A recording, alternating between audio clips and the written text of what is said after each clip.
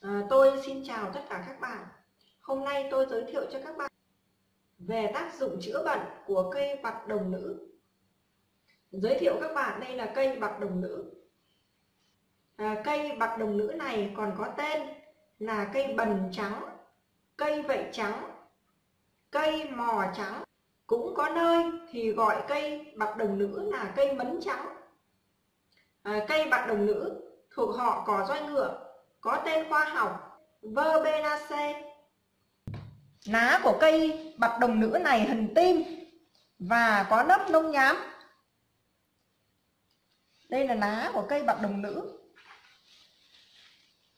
Hình tim và trên mặt lá có nấp nông nhám. Lá mùi rất là hôi. Hoa màu trắng, mọc thành chùm lá của cây bạc đồng nữ này rất là hôi nhưng mà điều đặc biệt là hoa thì lại rất là thơm. Mùi hoa rất là thơm. Người qua thì giống như mùi hoa trà, giống như mùi hoa nài. Rất là thơm các bạn ạ. Hoa có màu trắng hoặc màu hơi hồng nhạt. Cũng có một loài cây lá tương tự giống như cây bạch đồng nữ, nhưng mà hoa màu đỏ và chùm hoa dài hơn thì đó gọi là cây sức đồng nam. Còn hoa màu trắng và mọc thành chùm một cụm như thế này thì gọi là hoa bạch đồng nữ. Thì gọi là cây bạch đồng nữ. Lá và thân của cây bạch đồng nữ có thể thu hái quanh năm để làm thuốc.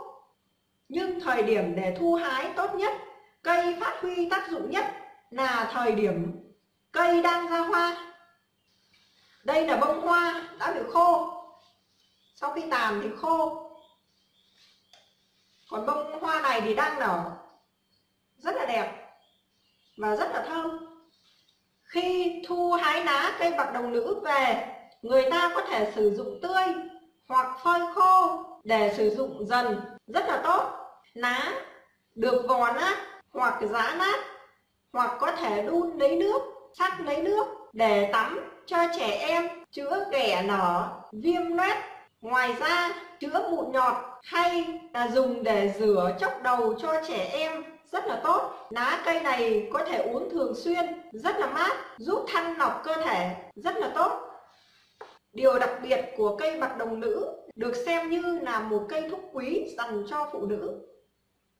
Đối những người phụ nữ bị khí hư, mặt đới ờ, cơ thể phụ nữ nhiều huyết trắng da, da khí hư màu vàng màu xanh và rất là tăn hôi thì chúng ta có thể sử dụng lá của cây bạc đồng nữ ờ, sắc lấy nước uống và đồng thời dùng nước sắc của cây lá bạc đồng nữ rửa âm đạo cho phụ nữ.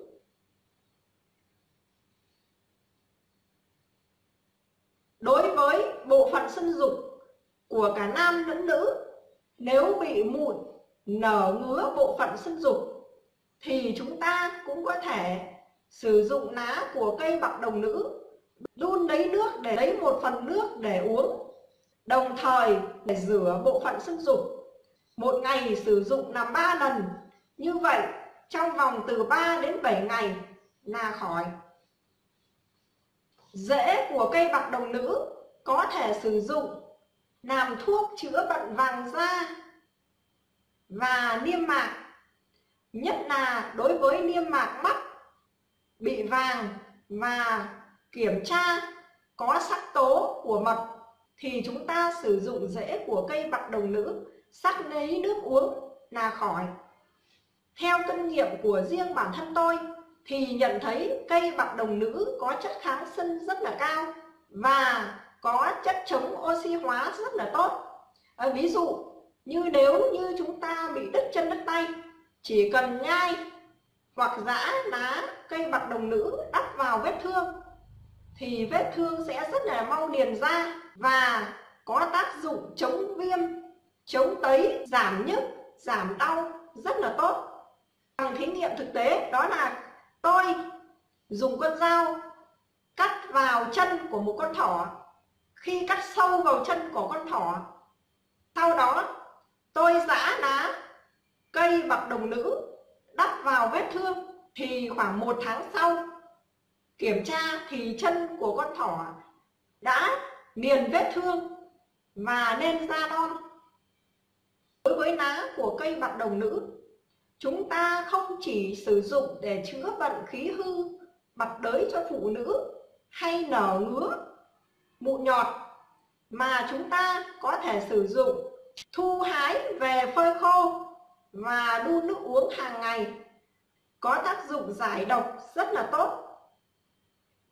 Như vậy, tôi đã giới thiệu cho các bạn xong công dụng chữa bệnh của cây bạc đồng nữ. Tôi xin chào tất cả các bạn.